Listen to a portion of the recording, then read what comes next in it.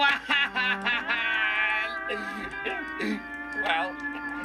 at least I was able to make his last few hours meaningful.